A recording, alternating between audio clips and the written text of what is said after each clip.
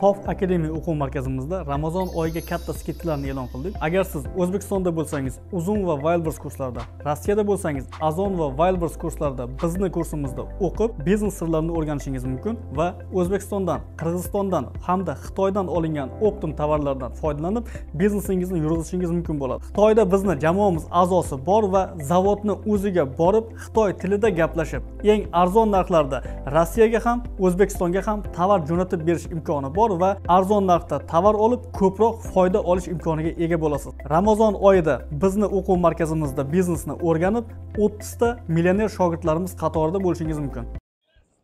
Assalomu alaykum aziz muxlis. Xalqaro valyuta jamg'armasi kiyevga sakkiz yuz sakson million dollar miqdorida kredit transhi taqdim etishini ma'qulladi.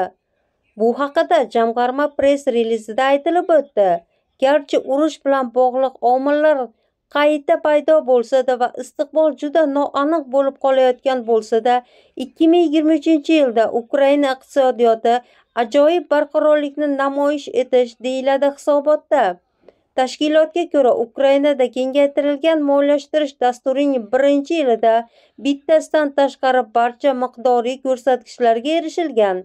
Shu bilan birga xalqaro valyuta jamg'armasi ijroiya kengashi ukraina hukumatining soliq tushumlarini bo'yicha dekabr oyidagi samaradorlik mezoniga rioya qilmaslik to'g'risidagi iltimosini ma'qullagan rossiya bosqinchiligi ukrainaga katta ijtimoiy va iqtisodiy yo'qotishlar keltirishda davom etmoqda.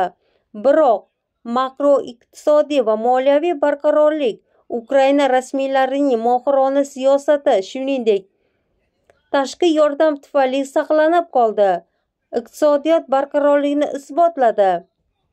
Uni qo'shimcha qilishcha o'zining moliyaviy ehtiyojlarini qondirish hamda fiksal va qarz barqarorligini ta'minlash uchun ukraina soliq bazasini yo'q qiladigan choralardan qochib daromadlarini ko'paytirishga muhtoj. Ma'lumot uchun ukrainaga 9 million dollar miqdoridagi oldingi kredit transhi jamg'arma tomonidan 2023 yil dekabrida tasdiqlangan.